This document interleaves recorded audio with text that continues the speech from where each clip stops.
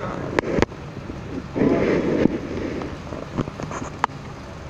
بھی خداون سے درخواست کرتے ہیں کہ باقی ماندہ کمزوری کو، باقی ماندہ بیماری کو اپنے یسو نام میں دور کر، کیونکہ وہی کیا مفاجری یعنی ہے جو سب کچھ کیا کرتا ہے؟ مہیا کرتا ہے۔ آج کا دن بھی میرے عزیزوں، یہ مہیا کیا ہے یہ آج وہ جو آپ نے عبادت کا پروگرام رکھا ہے تو موجود سبس اس آدمی کی کی جاتی ہے جو موجود نہیں آپ اس کو بات کو مانتے ہیں میں اپنی طرف سے نہیں کہہ رہا میں یہ کہتا ہوں کہ مموریل سروس اس غیر یا بھائی یا بزرگی کی جاتی ہے کہ جو ہمارے درمیان موجود ہے۔ اور اس کی موجودگی کے ناموجودگی کا سبب یہ ہے کہ وہ ہمارے درمیان نہیں ہے، اب اس خاندان میں نہیں ہے، اب اس خاندان میں نہیں ہے۔ وہ اپنے باپ کے اسے بھیجا، اس کے پاس وہ پہنچ چکا آئیے ہم خداون کا مقدس کلام بولنے کے ساتھ ساتھ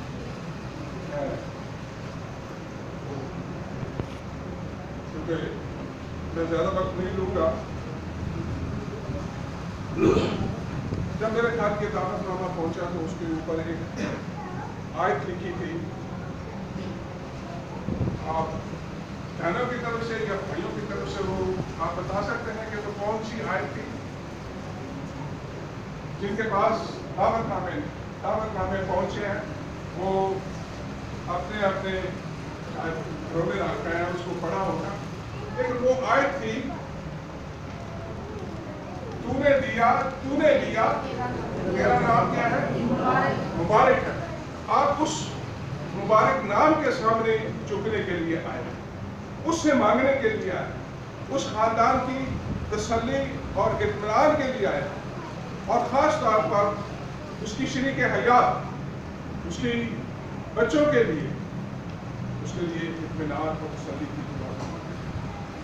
میرے عزیزو، ایوب، نبی جو ہمارا اس مقدس محفل کا عنوان ہے، وہ یہ ہے کہ انسان جو ہے جب پیدا ہوتا ہے وہ بہت خوشیاں منائیں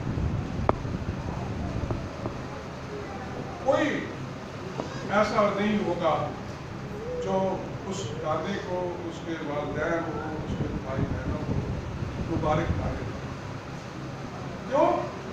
کیونکہ ان کے گھر میں ایک خوشی آئی ہے، اس لیے اس کو مبارک دے لیکن یہاں پر جب ایوب ابھی کتاب اس کا چودواں باب، اس کی پہلی آیت میں، پہلی اور دوسری آیت میں یوں رپورٹ ہے، انسان جو عورت سے پیدا ہوتا ہے، وہ کیا ہے؟ تھوڑے دنوں کا ہے۔ اور اس کی زندگی، میں زندگی اپنی طرف سے لگا رہا ہوں، تاکہ کلام میں نہیں نہیں ہے نہیں ہے،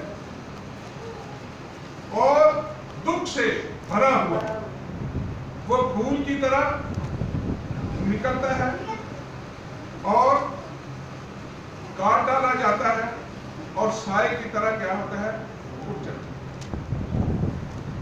یہ بیٹا جب اس خاندان میں جب پیدا ہوا، تو جب یہ پھول کی طرح کھلا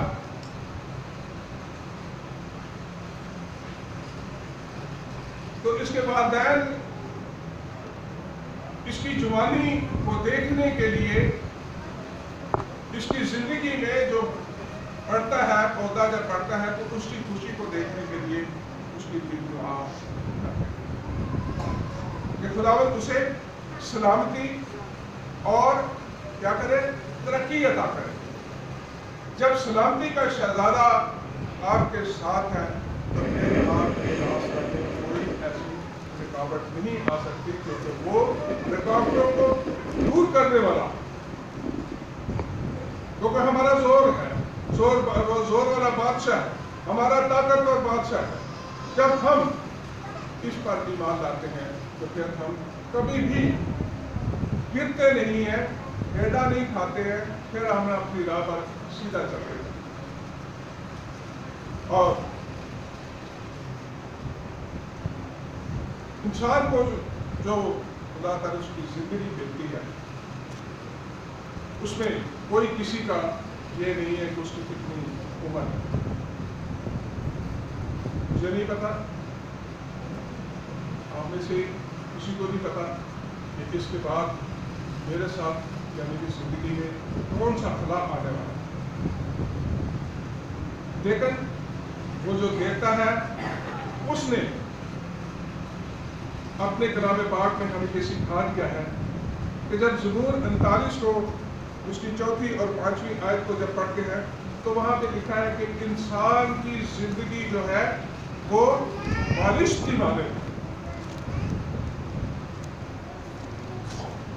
اور بارش میں کتنا سفر طے کر سکتا ہے بہت تھوڑی سی جگہ ہے۔ کسی کو نہیں یہ پتا۔ کہ اس زندگی میں اس تھوڑے سے سفر میں میں نے خدا کی حضوری کو کتنی بار محسوس کیا۔ خدا کے سامنے اپنے آپ کو کتنی بار رکھا ہے۔ خدا سے کتنی بار معافی مانگی۔ یہ نہیں پتا یہ بات بھول جاتی ہے لیکن سب سے بڑی بات یہ ہے کہ اس کو بھولنا نہیں چاہیے۔ کیونکہ وہ عمر جو عمر کا حصہ جو ہے وہ زندگی